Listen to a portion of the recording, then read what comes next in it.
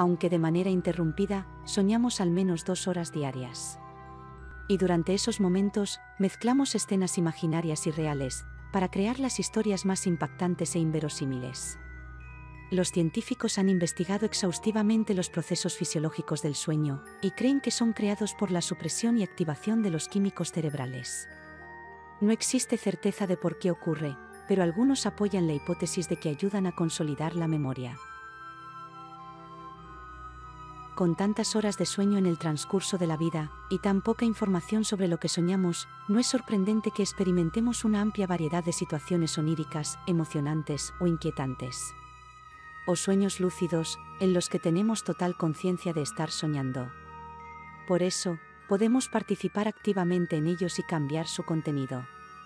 Otro tipo de sueños son los precognitivos o premonitorios, que nos ofrecen información sobre un hecho que sucederá en un momento de nuestra vida.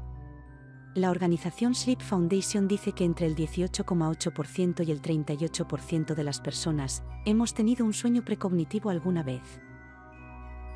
Hoy, nos adentraremos en una de las historias más famosas referidas a los sueños premonitorios. El sueño en el que Lincoln predijo su muerte.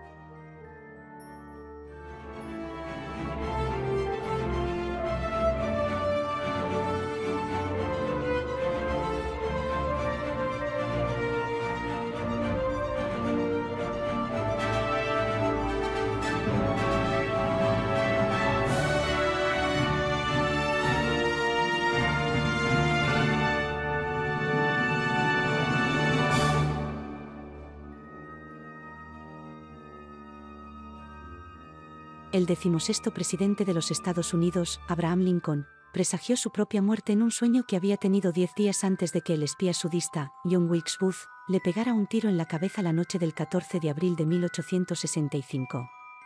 Según relató su amigo Ward Hill, tres días antes del magnicidio, el presidente estadounidense le relató un sueño muy extraño que había tenido una semana atrás. Hace unos diez días, me retiré muy tarde a descansar. Había estado despierto esperando noticias importantes del frente. No había pasado mucho tiempo, cuando caí en un sueño muy profundo debido al cansancio. Pronto comencé a soñar. Me veía acostado en la cama, rodeado de un silencio sepulcral. De repente, empecé a escuchar sollozos apagados, como si un grupo de personas estuvieran llorando. Me levanté de la cama y bajé las escaleras. Allí el silencio fue roto por los mismos sollozos lastimeros, pero los dolientes eran invisibles. Fui de habitación en habitación, pero no había nadie a la vista. Los lastimosos llantos me torturaban. Todas las luces estaban prendidas. El lugar me era familiar. Pero, ¿dónde estaban todos? ¿Por qué lloraban como si se les fuera a romper el corazón? Estaba perplejo y alarmado. ¿Qué significaba todo esto? Decidido a encontrar la causa de tal misterio, seguí caminando hasta que llegué a la sala este. Entré y me encontré una escena esperpéntica. Ante mí, había un catafalco, sobre el que descansaba un cadáver envuelto en ropajes funerarios. A su alrededor, estaban apostados soldados que actuaban como guardias y una multitud de personas, mirando tristemente el cadáver, cuyo rostro estaba cubierto por un velo. Pregunté a uno de los soldados que hacía guardia, que quién había muerto. El presidente, lo han asesinado, me respondió. Luego escuché un gran golpe y me desperté. No dormí más esa noche y aunque fue solo un sueño, me siento inquieto desde entonces. Muchos comentaristas y escritores, que conocen este dato, opinan que el sueño fue profético. Sin embargo, quizá revela meramente la gran presión y el estrés que sufría Lincoln en esa época.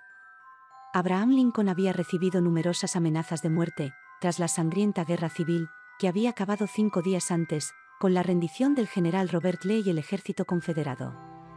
Es muy posible que temiera un atentado contra su vida, tenía muy presente la posibilidad de un magnicidio contra su persona. Lincoln jamás llegó a sospechar que su sueño pudiera tener tanta exactitud. Diez días después, Booth, aprovechando la asistencia de Lincoln a la obra Nuestro amigo americano, que se representaba en el Teatro Ford de Washington, se las arregló para vencer la protección del presidente, y atentó contra su vida a las 10 y 15 de la noche. Lincoln no murió de forma instantánea. Permaneció en coma hasta las 7 y 22 de la mañana del 15 de abril. Vivió nueve horas y siete minutos más. su cadáver fue velado en el salón este, en un catafalco como en el del sueño, con un número de soldados similar y un grupo de gente que le lloró de la misma manera que él había soñado.